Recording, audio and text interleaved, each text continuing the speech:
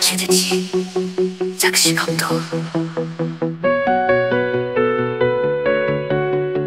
이리 갈까? 저리 갈까? 바람 따라 흘러갈까? 갈 길은 어릿광 대신 새타령 어이하나. 세월 속에 울고 웃고 그 모습 변했어